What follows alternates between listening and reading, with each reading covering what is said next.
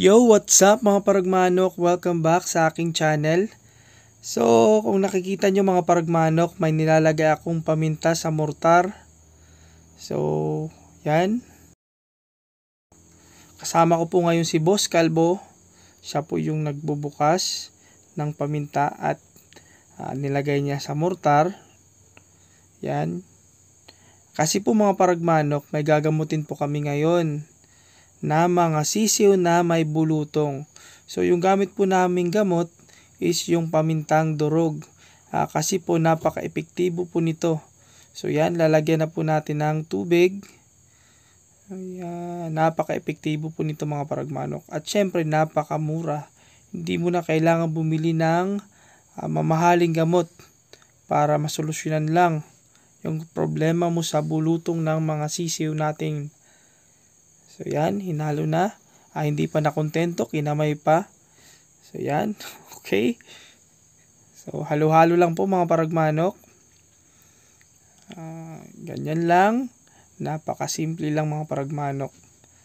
At syempre, di mo na kailangan gumastos ng malaki para gamutin lang yung uh, mga sisiw na may bulutong. So, yung natin gagawin mga paragmanok is yung kanyang, yan, yung may bulutong.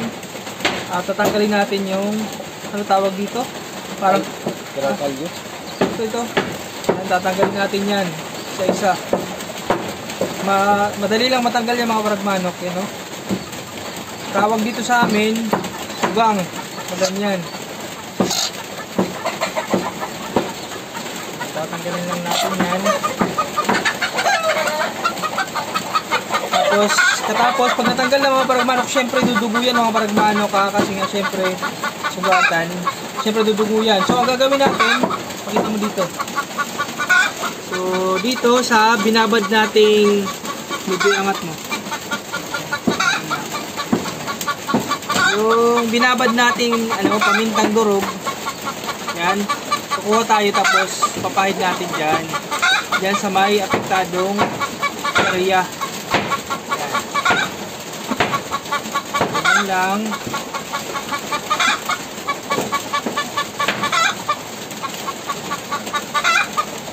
Ayan. Napakadali lang mga paragmanok. Gamutan dito. Tapos dito naman sa kabila, oh. Meron pa. Tatanggalin natin yung Ayan. Tanggalin natin yan. Tapos may mata.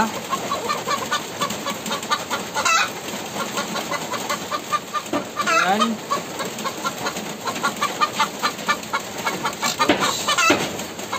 Lagay ulit ng paminta. May tubig yun lang.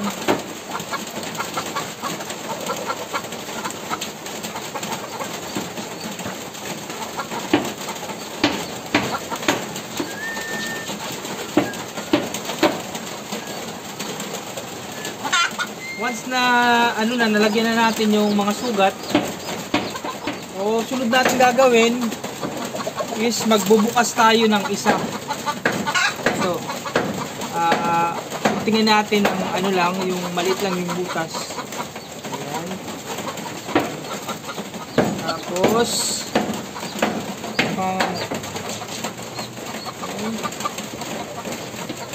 ayan. Okay. So, ganyan lang mga paragmanok. So, okay na ito mga baragmanok, tapos na. Balik kukuha pa tayo ng ibang sisiw para magamot yung kanilang bulutong. Tatanggalin natin yan para malagyan ng paminta na nababad natin. Malagyan natin.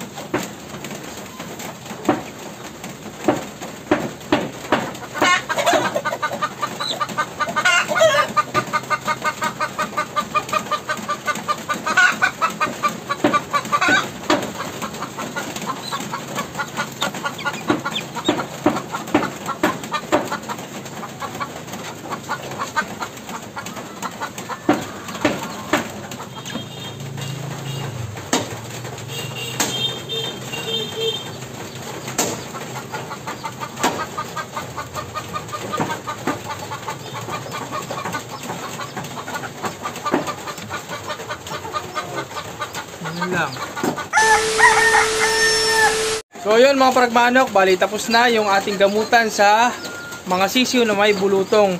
So yun mga paragmanok, bali bukas uulitin natin yon para magtuloy-tuloy yung ah, pag ano, para magamot agad yung mga bulutong ng ating mga sisiw.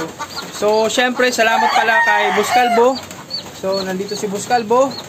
So salamat sa kanya kasi inalalayan tayo sa ah, paggagamot ng mga sisiw na may bulutong. Okay, so Boss Kalbo, thank you. Okay. okay. So yan mga paragmanok, sa hindi pa pala nagsusubscribe sa aking channel, huwag niyong kalimutan mag-like, share, and subscribe. At i-hit na rin yung notification bell button para palagi kayong ma-update sa mga video na aking i-upload. So maraming maraming salamat po and God bless. da da da da da da da da da da da